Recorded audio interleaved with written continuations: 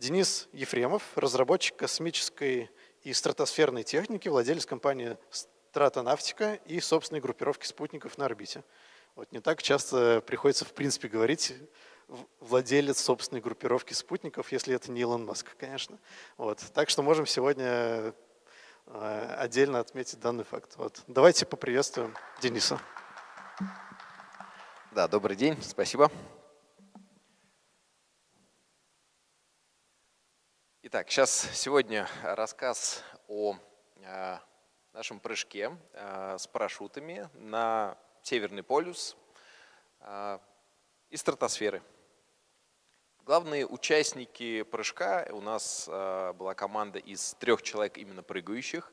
Это Михаил Корниенко, летчик-космонавт, герой России, Александр Лынник, летчик-инструктор, парашютист, и Денис Фремов, я инженер, разработчик космической стратосферной техники. Почему полюс? Э, изначально это идея э, Михаила Корниенко как раз, то есть вот он после того, как провел год на орбите, появилась у него вот такая вот идея именно прыгнуть на Северный полюс, продолжить славные достижения России и Советского Союза в а, полярных экспедициях, северно-полярных, в арктических. А, здесь просто список того, что делалось а, в советские годы, в российские годы по ну, вот каким-то таким достижениям в Арктике. То есть это и беспосадочный перелет через Северный полюс 1937 года, и первые дрейфующие станции, и подводная лодка, которая всплыла. Ну, то есть, действительно, для нас, для России и для Советского Союза тоже а, Арктика – это большая зона интересов. И отдельно скажу, что недавно а, российскими учеными были очень сильно расширены границы Российской Федерации а, мирно на север. То есть удалось доказать, что как, как там расположен э, шельф, и что на самом деле это а, до э, практически там, границ вот, э, до полюса простирается материковая плита. Ну, тут мне сложно сказать, я не географ, но вот есть такое достижение, то есть действительно у нас там у России довольно много интересов. А, вот это как раз описание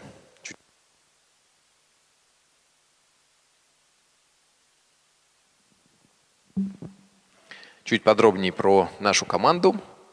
А, Михаил Борисович Корниенко, летчик-космонавт. А, действительно, на момент своего полета он стал рекордсменом там, по продолжительности полета в России. А, ну, больше года провел на орбите. Александр Борисович Лынник – замечательный поэт, певец и плюс к тому летчик-инструктор. Ну и я инженер. А, у меня на самом деле довольно много различных увлечений, э, от каких-то подземных, подводных, спелеология, э, дайвинг, э, плюс горы, ну и очень много времени, по крайней мере больше, наверное, последние 12 лет я в основном занимаюсь разработкой космической и стратосферной техники, то есть у меня есть компания а, «Стратонавтика», где мы уже 12 лет запускаем различные нагрузки в стратосферу. Это как научные, так и образовательные проекты, и реклама, которая туда зачем-то для меня всегда было непонятно, но отправляется, люди хотят как-то вот приобщиться к а, к высоким слоям атмосферы, туда уже ближе к космосу. Ну, в общем, вот занимаюсь запусками. И, а сейчас э, основные мои задачи, э, то, на что уходит там, не знаю, 90% моего времени, это э, работа над спутниковыми группировками. А, итак, для того, чтобы совершить прыжок на Северный полюс в условиях стратосферы, и тут сразу скажу, что Стратосфера над полюсами начинается где-то на высоте порядка 8 километров. А, при этом здесь у нас там в районе Москвы это порядка 12-13 километров, а к экватору а, это километров 18. То есть за счет того, что атмосфера сплюснута из вращения Земли. И а, в первую очередь вот эта вот граница стратосферы, она определяется не высотой, она определяется температурой И одна из важных проблем, которые нужно решить, когда вы готовитесь к такому прыжку, это как раз-таки температура, которая на высоте 10 километров где-то минус 55. То есть это, в принципе, довольно холодно. И э, мало того, э, во время прыжка и свободного падения вы летите со скоростью поначалу, особенно в разреженной атмосфере, там порядка 300 км в час. Э, и тут вопрос, что вот эта вот э, температура минус 55, это не просто стационарный холод, а это еще и ветер, который на вас дует. А он, соответственно, гораздо критичнее и там сложнее его переносить. Поэтому э, мы проходили э, термокамеру, например.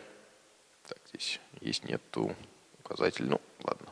А, вот здесь вот слева снизу видно, как мы заходим в, в термокамеру. То есть там как раз э, создавались вот эти вот минус 55. А, там мы понимали, насколько у нас комфортный комплект одежды для того, чтобы находиться в, при такой температуре.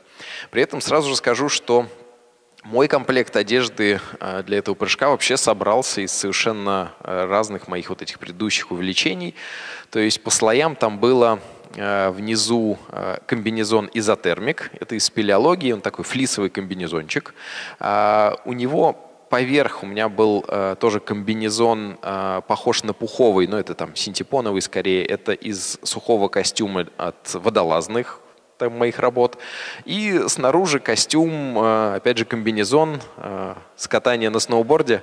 То есть вот такой вот комплект из этих трех слоев, абсолютно обычных, доступных, там, покупаемых в любом магазине, мне позволил вполне комфортно находиться и вот в этой термокамере, и в дальнейшем, в принципе, в прыжке. А, при том, что на самом деле а, я ожидал худшего и подготовился там, еще больше, но там чуть дальше покажу. А, кроме того, на этой высоте а, вторая из важных проблем – это отсутствие кислорода. То есть уже, а, ну, я не знаю, кто-то из вас знает, как думаете, на какой высоте вообще человек может без кислорода какое-то время там находиться? Ну, предположение. Ну да, вот 5-6 тысяч – это как раз, наверное, тот самый рубеж. То есть, к примеру, я до этого побывал на вершине Эльбруса, это 5642 метра, и туда как большинство, там 99, наверное, процентов ходит без кислорода. А я побывал на вершине Килиманджаро, это 5, 5900 примерно. А, туда тоже, соответственно, ходит без кислорода. Но вот выше, там, на тот самый, например, Эверест, это 8848, без кислорода ходят уже единицы. Это люди, у которых какая-то вот такая, не знаю, скорее э, непривычная для большинства обычных людей э, строение организма, что они могут это выдержать. Это супер подготовленные люди, это большая редкость. И там 90% э, людей ходят уже с кислородом. Без кислорода выжить там тяжело. Соответственно, вот выше этих 9 километров, ну вообще без кислорода уже точно вы там не сможете. Поэтому, когда мы готовились к прыжку а, более чем с 10 километров, мы понимали, что обязательно нужен а, комплект кислорода. При этом в авиации считается, что вообще кислород необходим с 4 километров. Все, если вы выше 4 километров, должен быть кислород. Поэтому у тех же парашютистов, которые прыгают выше, вот как бы правило такое, что уже нужно дышать кислородом. А, ну, с такой высоты в России а, до нас особо никто не прыгал. А, то есть были некие Э, в советские времена прыгали и выше, там вообще были сверхлюди. И, э, но это отдельная история. Опять же, это все не частники, это какие-то военные э, экспериментальные прыжки. Соответственно, вот в левом верхнем углу это мы именно изучаем, как работать с комплектом кислорода, который нам предоставила компания ПТС, российская разработка, вот этот кислородный комплект именно для высотных прыжков. Все. Вот, соответственно, в этом кислороде, в термокамере проверяем и работу кислородного комплекта, и одежды. Кроме того, на этой высоте еще одна из проблем – это давление. То есть э, давление там настолько большой перепад давления, что э, если вы заранее себя не проверите на этот перепад, то действительно можете получить какие-то проблемы. О некоторых из них я позже расскажу. А, то есть для этого мы договорились с Центром подготовки космонавтов и прошли испытания в барокамере. То есть там, в этой барокамере, сымитировали тот самый подъем на высоту 10 километров, там полку и потом а, более резкий спуск, то есть там некую разгерметизацию. А, в принципе, я проходил барокамеру два раза. Один раз это был подъем до 6 э, километров э, без кислорода э, и подъем вот до 10 километров с кислородом. И сразу скажу, что для меня, например, вот этот подъем до 10 километров с кислородом прошел абсолютно легко. А подъем на 6 километров был гораздо сложнее. То есть там для проверки вам давали некие математические задачки, и вы понимаете, что да, на 6 километрах действительно у вас уже гипоксия, недостаток кислорода, и вы уже медленнее соображаете. Ну, в общем, здесь проверились, все нормально. Кроме того, э, тестовые прыжки. Э, на, э, к моменту вот этого прыжка у меня было порядка 200 прыжков с парашютом. По парашютным меркам это совсем немного, хотя я их набрал более чем за 10 лет. То есть я, у меня был большой перерыв между прыжками, но когда я понял, что да, вот я хочу совершить там, что-то подобное, я начал восстанавливать свой парашютный опыт. И вот ну, около 200 прыжков, на мой взгляд, этого достаточно для этой задачи, потому что э, здесь не, даже не парашютный опыт главное.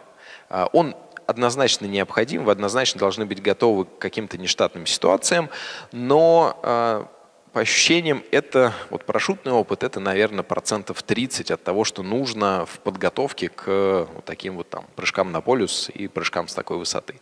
То есть тот же опыт э, в дайвинге значительный, э, я уже не помню, там тоже у меня, наверное, погружений штук 150, э, он дал не меньше пользы, то есть это э, умение пользоваться э, дыхательным оборудованием, но тут скажу еще, что я пять лет проработал спасателем в МЧС, где я точно так же работал и много времени провел в дыхательном оборудовании, которое очень близкое, похожее. А, и вот этот опыт дал мне те самые еще 30% необходимых знаний. Ну и а, истории с всякими зимними видами спорта, с, э, спелеологией, то есть с перепадами температур, это вот еще там, наверное, 30%. Ну, еще отдельная часть – это э, как раз мой инженерный опыт, потому что действительно моя задача в этом прыжке во многом была это как раз техника, испытание техники, проверка того, как она будет себя, работ, э, себя вести. И вот подготовка этой техники – это вот та же очень важная часть э, в подготовке к прыжку, к тому, чтобы он был безопасен.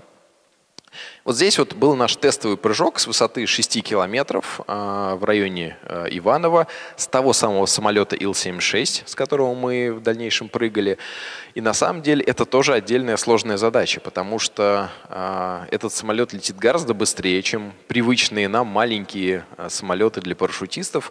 И когда вы отсюда с обреза вот этой рампы туда вываливаетесь, вас ударяет довольно неожиданный поток, и здесь надо, опять же, научиться с ним работать. А, если вы если вас закрутило, попали в беспорядочное падение, выходите из него. И вот этот тестовый прыжок действительно дал для нас много ответов на вопросы и помог подготовиться лучше. А, по крайней мере, например, выяснилась такая неожиданная вещь. А, у нас кислородные маски дополнительно обязательно очки. Причем очки у нас были с электроподогревом, а, для того, чтобы они там не могли запотеть. А, так вот, выяснилось, что при приземлении а, эти очки за счет э, толстой рамки, за счет большой кислородной маски просто не позволяют смотреть под ноги в точку приземления. И когда мы тестировали все это оборудование, одежду где-то там вот на земле, действительно почему-то мы этого не заметили.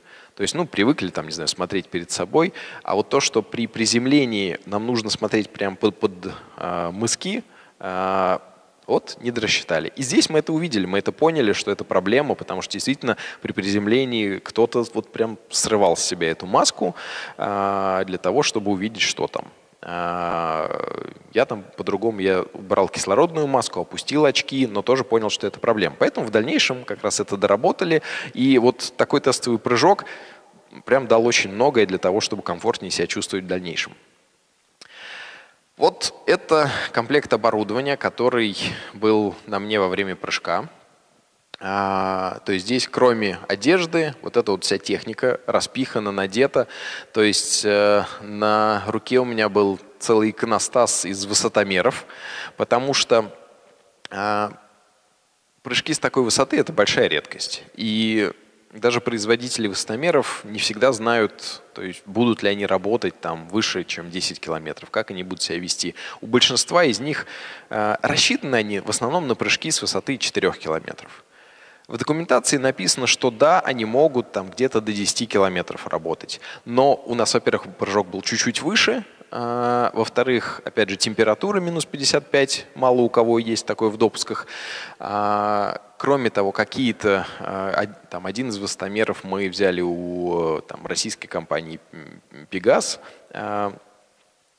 с который, который сделал специальную прошивку для нас и а, тоже тестировали. Поэтому вот такой вот набор прямо из нескольких выстомеров был, был у меня на руке.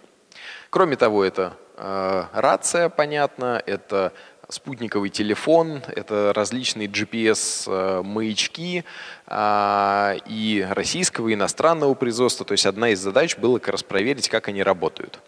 А, это несколько камер, то есть, ну да, хотелось заснять этот процесс. А, и вот здесь вот снизу это дополнение еще, это все система электроподогрева. То есть э, в, у меня были электростельки, электроперчатки, и в какой-то момент э, я еще делал электрошколу.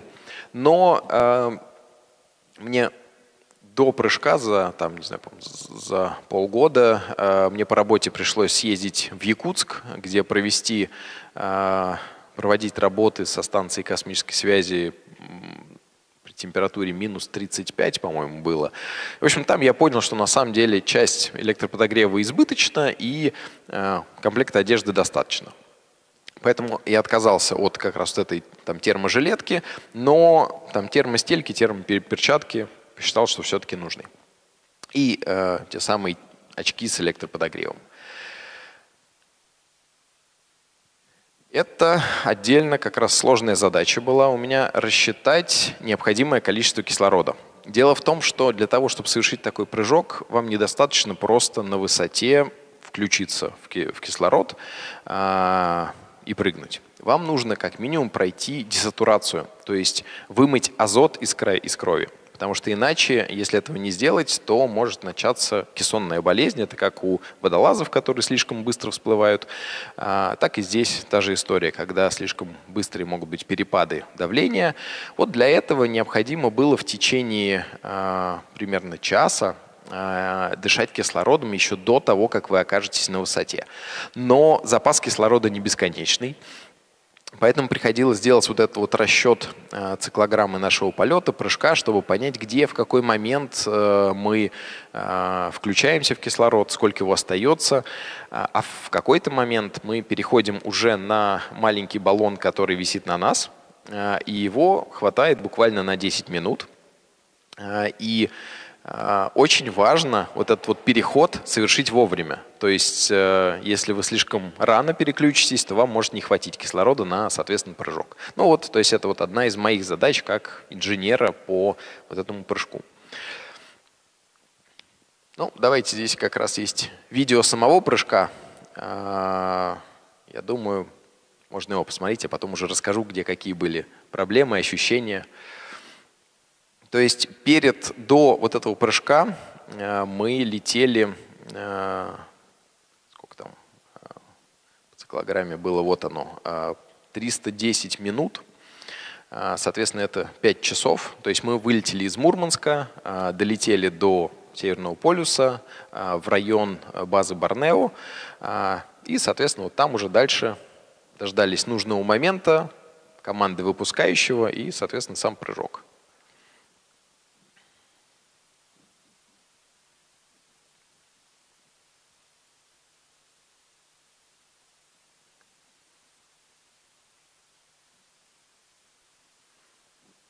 Выпускающие на борту тоже обязаны быть в кислороде, потому что дышать там нечем.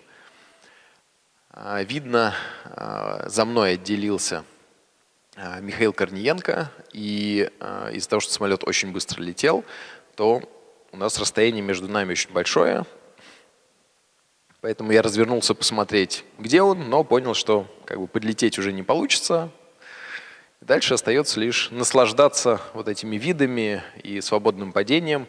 Свободное падение у нас длилось больше двух с половиной минут.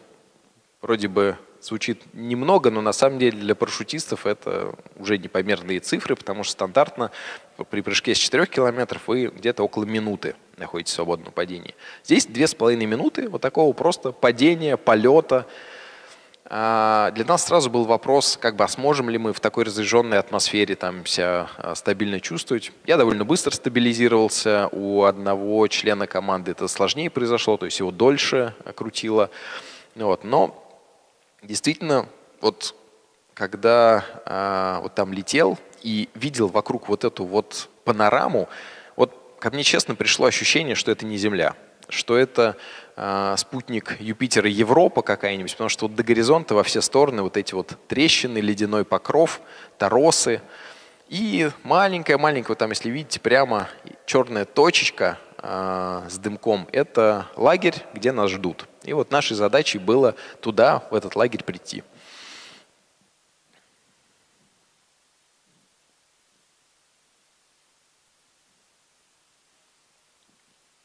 Если бы не удалось дойти до лагеря, то пришлось бы искать площадку приземления где-то вот между трещинами и торосами. А, действительно, может быть, непростой задачей. А, отдельно расскажу, что в какой-то момент мы вообще поняли, что нас там внизу могут ожидать, там, не знаю, белые медведи, и потратили какую-то часть времени подготовки на а, то, чтобы продумать, как, что делать в этом случае.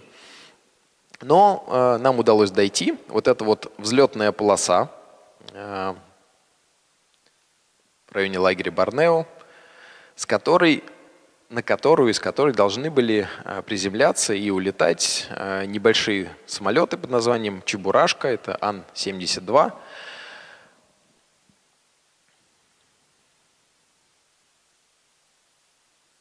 И полярники, которые нас встречают –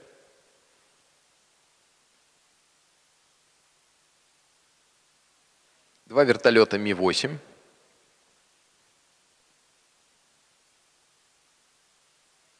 И, соответственно, сейчас я уже подхожу к лагерю, тому самому лагерю Барнео, вот где ожидавшие нас полярники – Михаил и Александр тоже недалеко приземлились, то есть, в принципе, мы все более-менее пришли э, в район. Михаил пришел прямо вот сюда, на точку, Александр чуть дальше, но главное, что все нашли себе безопасную площадку для приземления. А, у нас получилось установить э, как минимум рекорд России. На самом деле, как мировой рекорд тоже мы какой-то установили, просто никак это не регистрировали. С книгой рекордов Гиннесса у нас сейчас сложные взаимоотношения, да и просто это стоит каких-то отдельных денег. Задачи такой у нас не было. А, но вот э, на, в район полюса с таких высот никто никогда не прыгал. А, в России, в принципе, выше там, 10 километров никто не прыгал. Но вот как бы нам удалось прыгнуть выше – и еще и на полюс. А, этот рекорд там тоже где-то зарегистрирован. А, единственное, что интересно, что нам в книге написали высоту, я не помню, там, может быть, 10-200 или что-то в этом роде, потому что представитель книги рекордов России летел в кабине самолета, и у них э, были другие значения на их высотомерах. Ну, они были откалиброваны по Мурманску, у них там свои показания, тут уж не будем вдаваться в подробности, у нас вот есть свои цифры по крайней мере, то, что показали наши высотомеры, которые мы заранее выставляли именно по давлению в районе полюса.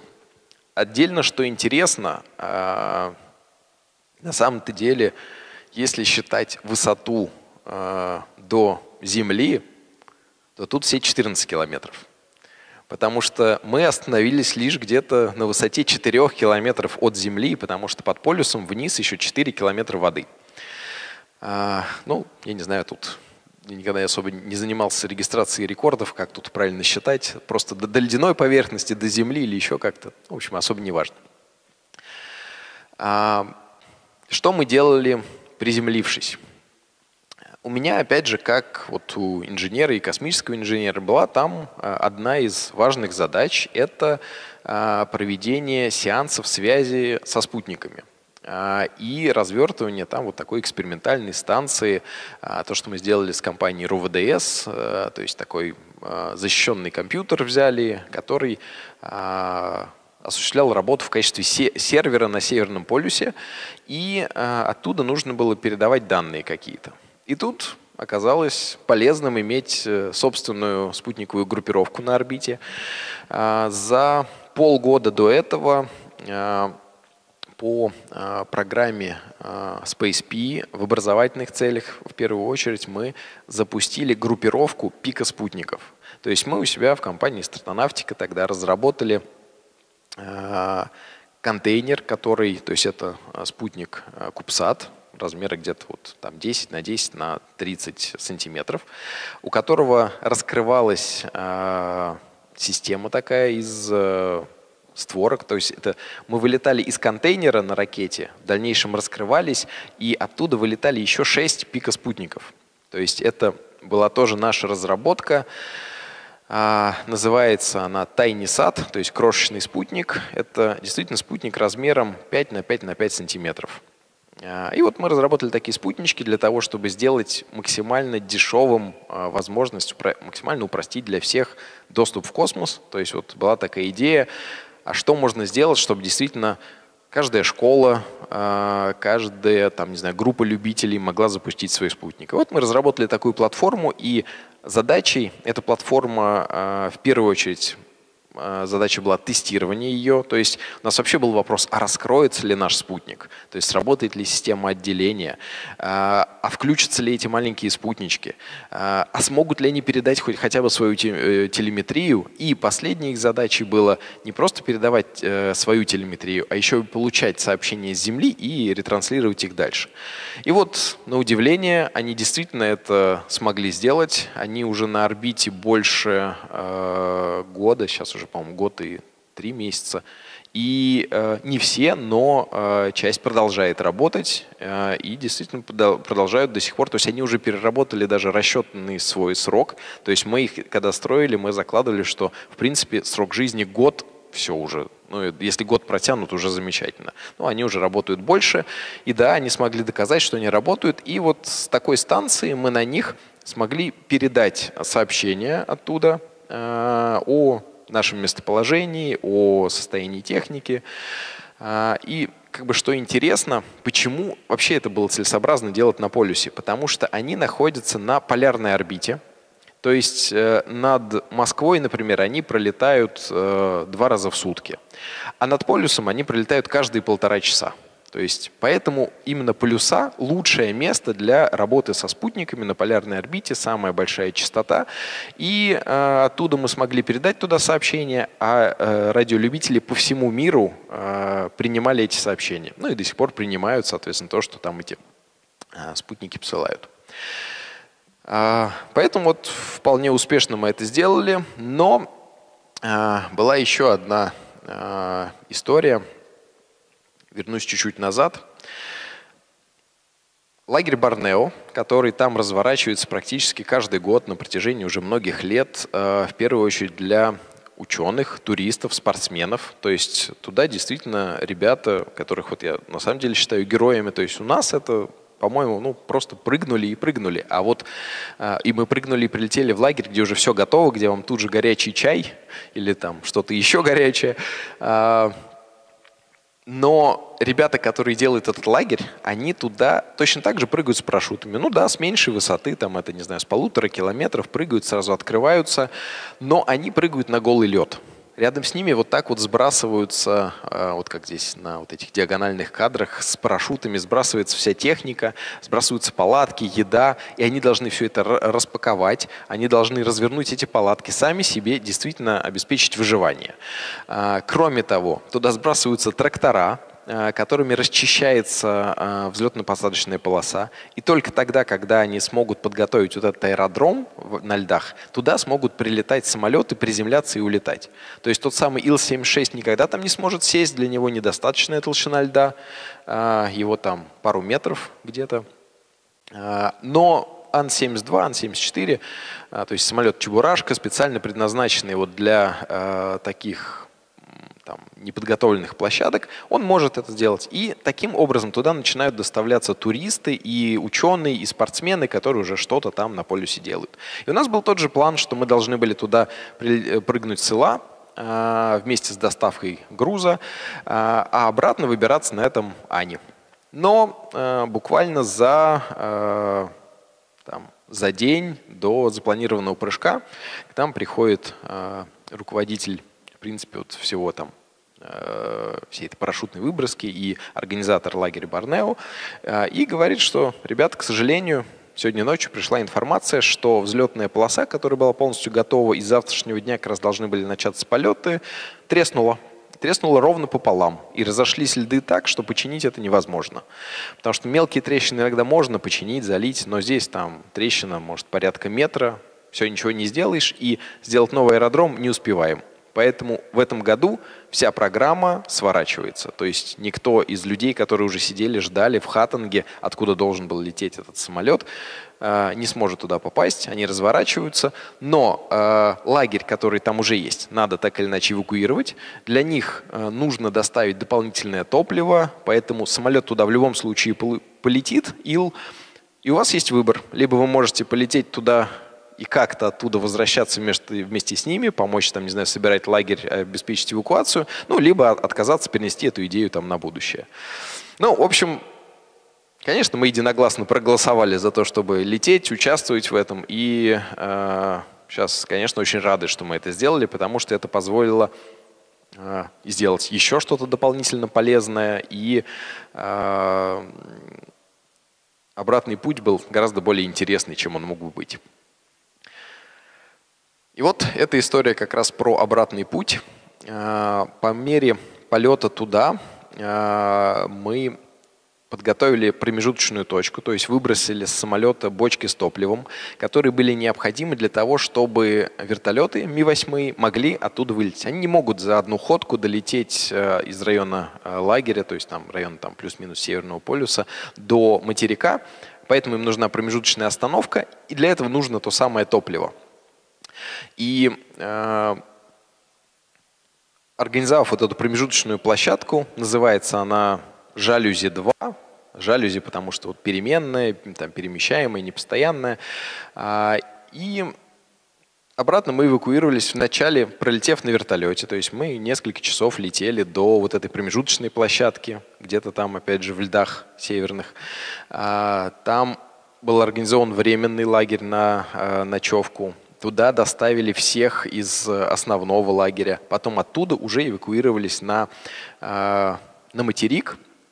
Э, и это была научная база российская. То есть мы добрались на вертолете до нее. А, вот это как раз э, там трекол, вездеход, который там ходит для исследования айсбергов, которые там вмерзают. То есть каждое лето туда к материку прибиваются новые айсберги, вмерзают, их можно а, зимой изучать, к лету они оттаивают и уплывают дальше. А, и это удивительное зрелище, то есть так мы не должны были их увидеть, но вот мы добрались увидели их. Плюс Александр сыграл несколько концертов. Один из них был как раз для полярников прямо на полюсе, другой а, для а, вот, научной экспедиции, которая в, в этом научной, на научной базе находится. Ну, плюс мы там несколько дней провели. Я, опять же, там работал со спутниками, испытывал еще какую-то технику. И оттуда мы уже полетели дальше до. То есть вот та база – это мыс Баранова. То есть, видите, это архипелаг э, Северная Земля. А, там как раз находилась одна из самых северных э, метеостанций, где э, мы поучаствовали в запуске метеозонда и еще раз увидели по данным метеозонда, что действительно стратосфера, как я говорил, она начинается у нас по температурным перепадам, начинается где-то в районе там, 8-9 километрах вот на там, этих широтах.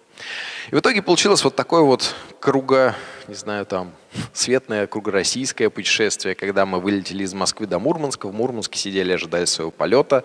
А, прыжок в районе полюса в Борнео, та самая промежуточная точка жалюзи.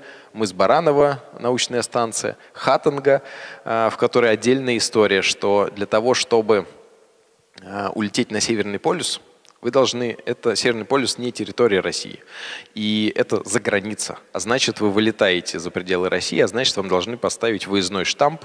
И в Мурманске есть пограничный пункт, нам поставили выездной штамп, а вот в Хаттенге нету пограничного пункта. Никто оттуда за границу, как правило, не летает. Поэтому там нам сказали, что извините, ребята, вы, несмотря на то, что уже прилетели, и хоть вы и граждане России, но вы все еще за границей, потому что границу вы не проходили, и таможню не проходили, и нас поэтому не выпускали никуда э, с аэродрома. И только когда мы долетели до Красноярска, где есть пограничный пункт, там мы смогли получить обратную э, печать и уже вернуться официально в Россию. Ну, обратно летели через Омск и до Москвы. А, вот от мыса, то есть из Мурманска мы на Или летели, а, с полюса до мыса Баранова на вертолетах на Ми-8, оттуда уже на а, Ан-72, соответственно, вот летели обратно до Москвы. Вот это а, как раз люди, те самые герои, которых я, правда, я, вот, и их достижениям больше а, удивляюсь и считаю, что это на самом деле героические поступки. Те, кто как раз выпрыгивает каждый год туда, вот на полюс, на эти льды, организовывают вот этот лагерь просто в пустом месте. И неважно, какая погода, если вы не можете тут переждать. Потому что, чтобы переждать, вам нужно вначале развернуть этот лагерь. Это действительно люди-трактористы, которые туда доставляются, которые расчищают эту взлетно-посадочную полосу. Это врачи, ну и, соответственно, вот все те, кто строит этот лагерь. И им, мне кажется, это вот от нас главная благодарность за то, что у нас все получилось и что э, их силами был, была рассчитана точка выброски правильная, э, которая позволила нам, э, понятно, управляя парашютами, но дойти. Если бы у них был неправильный расчет, то мы бы даже управляя не могли бы дойти, потому что конус возможностей у парашюта он ограничен.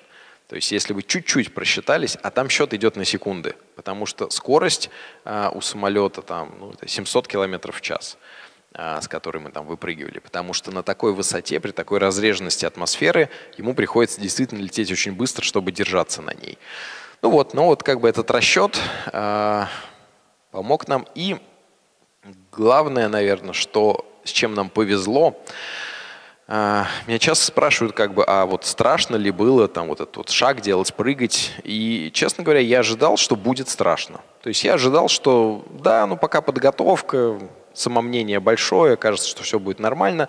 Но был уверен, что когда вот я подойду к этому обрезу, ну, наверное, все-таки будет страшновато. Ну, как-то готовился с этим бороться. Но оказалось совсем иначе. Когда рампа опустилась, и когда мы увидели, что под нами абсолютно чистое, э, ну, как это сложно сказать, чистое небо внизу, то есть нет облачности, нету тумана. И это главная сложность была, потому что прыгать в туман или прыгать в облака не видя однозначно э, лагеря, и приземляться куда-то между этими торосами, речками, как их называют, вот эти вот трещины, э, это действительно гораздо опаснее. Но когда мы увидели вот эту вот всю чистоту до горизонта, никакого страха не было. То есть действительно хотелось туда прыгнуть, хотелось это все посмотреть, и вот э, было некое, ну, такое ощущение эйфории, наверное, когда уже летел в свободном падении и все это наблюдал. Ну вот как- как-то без страха обошлось. А, хотя, несмотря на то, что я увлекаюсь многими экстремальными видами спорта, мне всегда казалось, что у меня нет никакого желания адреналина. Мне всегда интересно скорее то, куда можно добраться с помощью этих экстремальных видов спорта. То есть, когда я ныряю, мне важен не факт там, глубины, а то, что можно увидеть на дне. Или когда там, хожу в пещеры, соответственно, интересно, что там. А, а не то, что там это чисто факт, что это там самая глубокая в мире пещера. А, действительно, довольно много компаний нас поддержало. А, вот это там, перечень спонсоров, наверное, какой, информационных спонсоров. А, кто-то нам давал оборудование, то есть вот там компания ПТС, это как раз кислородное оборудование. Или Пегас — это высотомеры. Кто-то помогал там информационно, кто-то, ну, то есть по-разному здесь. Действительно, много кто был вовлечен и очень им благодарны за это. Что у нас по времени? Хорошо. Я просто предлагаю, есть еще более полное видео, то есть я э, попросил монтажера нарезать там какой-то... На самом деле вот с момента, как там мы вернулись, это прыжок был 12 апреля, при этом на самом деле это совершенно случайное совпадение, то есть мы должны были прыгнуть еще на неделю раньше, но э, то погода была плохая, то были сложности с вылетом, то еще что-то. И оно просто так получилось, что именно либо 12, вот 11 апреля нам говорят, что либо вы завтра прыгаете, либо переносим на когда-нибудь потом. Ну, конечно, мы не могли отказаться 12 апреля не, не прыгнуть. А, так вот, времени уже прошло много, но, честно говоря, я так и не разобрал часть материалов. Времени на это уже нету, потому что сейчас занимаюсь э, задачами, опять же, там большой спутниковой группировки, и она требует слишком много времени. А, но попросил монтажера смонтировать маленький ролик, он взял и говорит, а мне вот кажется, что так лучше, и замонтировал весь прыжок полностью. Поэтому я предлагаю его поставить, ну а в это время, если хотите, могу там еще на вопросы поотвечать или можете дождаться конца, как вам, как вам удобно.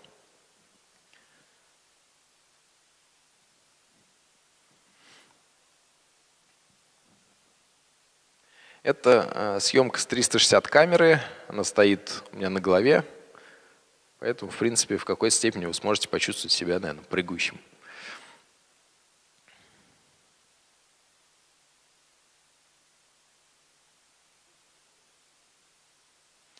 А, это сейчас вспомнить бы, как, как нет, он, он выдерживал гораздо более э, суровые условия. На самом деле просто вот мой сноубордический костюм, который я купил уже лет Да, но это, это воздух. А когда вы неудачно прыгаете с трамплина где-нибудь там со сноубордом, вот э, удары об снег и лед, они бывают более жесткими. Э, да, я, к сожалению, уже даже забыл э, марку производителя. Надо им написать благодарность, кстати. Но это российское производство. Нет, нет, я, я там до этого рассказывал, э, у меня весь костюм состоит вообще из практически доступной в магазине э, одежды. Э, то есть вот у моих напарников были специальные костюмы, которые используют полярники, а у меня это часть спелеологического, часть дайверского и часть сноубордического снаряжения. Но отдельная история. Что... Да, да, конечно, в термокамере и в минус 35 я сидел в Якутске. Ну, это по работе пришлось туда поехать, но удалось совместить полезное с полезным. Приятного было мало, скорее полезное с полезным. А, вот так вот, не сказать, что можно далеко улететь. А, это называется тречка а, в парашютных терминологии. Вот здесь, обратите внимание, видите, я пытаюсь зажать нос, и это отдельная проблема. А, это изменение давления. И на самом деле в этот момент мне уже очень некомфортно. А, да, только не получается продуться. А, из-за изменения давления вот в этот момент у меня очень сильно уже заложило уши. Но мне знакомо как бы это ощущение, и плюс, зная физику процесса, я понимал, что здесь не может быть перепада больше, чем одна атмосфера, и понимал, что кровь из ушей вряд ли пойдет. ну так, утрируя. Поэтому придется это перетерпеть. Потому что в чем проблема? Вам для того, чтобы повысить давление, вам нужно ну, есть несколько способов. А, и самый основной, который используют 99% людей там в самолетах, это продувка, когда вы закрываете нос, дуете. Но это невозможно сделать, когда у вас маска кислородная надета. Я пытался ее продавить, это не получается, поэтому я понял, что снимать ее на большой высоте это нельзя делать, это опасно, поэтому придется это перетерпеть.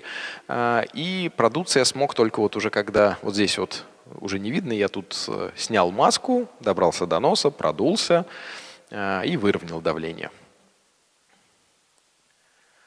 Здесь уже довольно долгий вот этот вот полет. Видите, вот там вдали как раз дымок, да, вот этот вот, э, да, вот здесь вот, вот я как раз продуваюсь. Просто тоже у вас есть определенная последовательность действий, когда открылся парашют, вам важнее не продуться, а проверить, что все нормально, что он наполнен, устойчив, управляем. Ну, то есть какие-то такие стандартные правила. И вначале я сделал это, потом уже понял, что все, теперь можно заниматься продувкой. И нам, представляете, что все то же самое, но, например, снизу был бы туман.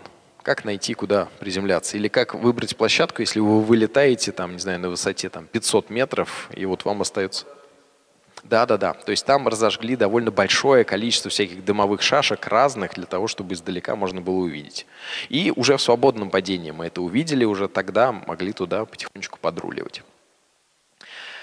Дальше еще из проблем, когда э, я приземлился, добрался до лагеря, когда уже налили чаю, э, я сел, так вот облокотился на руку и чувствую, что что-то не то – как-то да, вот э, что-то со мной не то. Я беру себя, фотографирую и вижу очень странную для меня картину. Я вижу такого хомяка или бурундука с, с опухшими щеками, при том, что я абсолютно ничего не чувствую. Вроде бы, на мой взгляд, все нормально. Просто у меня огромные щеки. Я нахожу местного доктора, он смотрит, говорит, ну да, отморозил, но ты не переживай, щеки еще никому не отрезали. То есть должны пройти. Ну, в принципе, дня через три а, они у меня вот, опухоль спала, ну и потом они облезли полностью, потом мне сказали, что вообще люди за это платят, это там пилинг или еще что-то, бьюти-процедура, поэтому радуйся. Да, и как, как это, из-за чего это произошло? А, между кислородной маской и очками а, была щель. На самом деле я это понимал и заранее, сидя, сидя в Мурманске, пока было нечем заниматься, а, я туда сшил такие прокладочки небольшие, ну то есть там валики такие утеплительные. Но один из них, ну не один из них, оба, а, чуть-чуть сдвинулись, и там образовалась щель, но вот буквально там меньше сантиметра. И в эту щель при условии того, что минус 55, скорость 200-300 км в час, этой щелки достаточно было, чтобы надуть так, чтобы щеки отморозить. Для меня было странно, что действительно я этого вообще не чувствовал в полете. Мне не было ни холодно, ни никаких ощущений как бы вот от э, там, вот этого набегающего потока. Действительно было комфортно. Но вот такая вещь обнаружилась. И э, интересно было, что у Михаила э, тоже одна щека вот так же обморозилась. А у Александра э, он в какой-то момент, э, именно когда ему тоже нужно было там продуться или там маску снять, он снял перчатку. И он себе отморозил один палец. Для него, как для музыканта, это очень критично, но точно так же, как и у нас, в принципе, через там три дня все прошло, поэтому, как выяснилось, подготовка у нас была хорошая. Да, наверное, чуть-чуть вот эта вот мелочь, которая, ну, вряд ли, если бы все было совсем идеально, наверное, такое бывает редко. А, но вот те проблемы, которые были, к счастью, они были минимальными и ничуть не испортили ощущение от нашего прыжка. М? Да, вот видите трещину как раз, вот там вот сверху, вот эта трещина поперек взлетной полосы, и вот этого куска недостаточно для того, чтобы э, самолет приземлился и взлетел. И просто говорят, что ночью услышали вот этот грохот, вышли, увидели эту трещину. Да, такое, к сожалению, там иногда происходит, иногда успевают сделать новый аэродром, но не в этом году. А можно ли было продлить э, аэродром в противоположную сторону? А там тоже начинаются трещины и торосы. И это на самом деле для них одна из самых сложных задач именно выбрать эту площадку. То есть почему мы долго сидели в Мурманске? Потому что в это время лагерь этот перемещался, они перелетали, искали э, разведка, искали площадку для того, чтобы найти вот, эту, вот этот пятачок. И э, год на год ситуация разная. То есть иногда лед потолще, иногда тоньше, иногда больше торосов, меньше торосов. В этом году действительно была очень сложная ситуация, найти площадку было сложно. Ну и вот видите опять же результат. Ну, готов поотвечать на вопросы, если они есть. Да, давайте поблагодарим э, Дениса за прекрасную лекцию. Вот, а теперь поднимайте руки, я подойду по очереди каждому, дам возможность задать вопрос.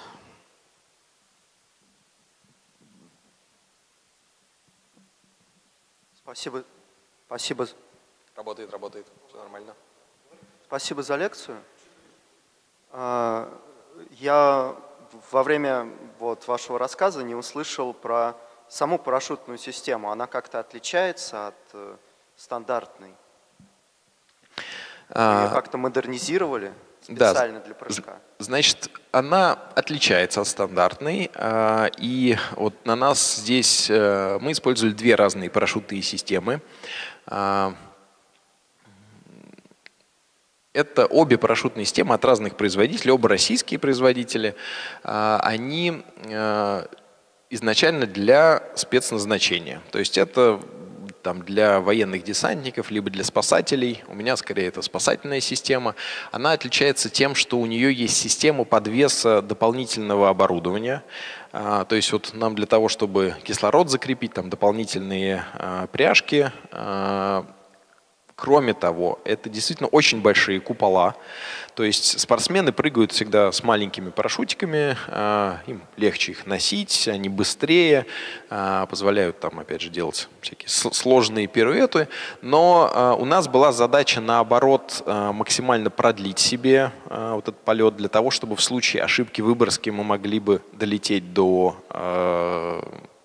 точки расчетной посадки. И кроме того, действительно, на нас тут висит очень много оборудования, поэтому это очень большие парашюты, то есть это э, там, 280 квадратных футов. Ну, не, в общем, это действительно большие системы, э, которые используются в основном для там, спецназначения. В остальном э, скажу так, что я перед тем, как прыгать, написал производителю письмо э, с вопросом, как вы думаете, выдержит ли ваш парашют вообще вот такие условия. Э, мне ответили, что, вы знаете, мы не проводили такие испытания, но э, шьются они из э, из тех же материалов, что другие парашюты, которые что-то подобное выдерживали.